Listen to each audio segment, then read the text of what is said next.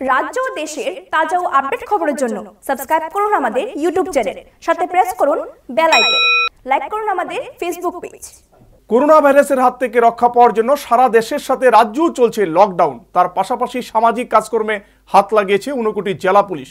শুক্রবার ঊনকোটি জেলা পুলিশের তরফ থেকে কৈলাসহর রাজীব গান্ধী মেমোরিয়াল হাসপাতাল ও ঊনকোটি জেলা হাসপাতালের অসুস্থ রোগী, রোগীর আত্মীয় পরিজন ও গোটা কৈলাসহর মহকুমার ভবঘুরেদের দুপুরের খাবারের ব্যবস্থা করা হয়েছে।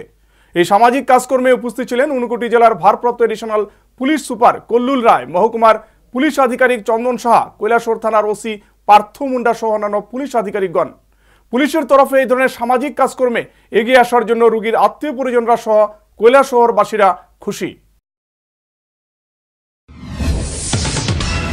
কোভিড নাইন্টিনের উপলক্ষে যে লকআউট চলছে লকডাউন চলছে, তারপর এদিকে যারা হসপিটালে যারা পেশেন্টরা আছেন তাদের সঙ্গে যারা আছেন অ্যাটেন্ডার হিসাবে তাদের খাওয়া দাওয়ার কিছু অসুবিধা আছে এটা আমরা জানি। তার জন্য তাদের পাশে দাঁড়ানোর জন্য সামাজিকতার একটা পার্টি হিসাবে আমরা পুলিশের তরফ থেকে ঊনকোটি ডিস্ট্রিক্ট পুলিশের তরফ থেকে আজকে দুপুরবেলা তাদের জন্য একটু লাঞ্চের ব্যবস্থা। না আজকের জন্য আমরা করেছি।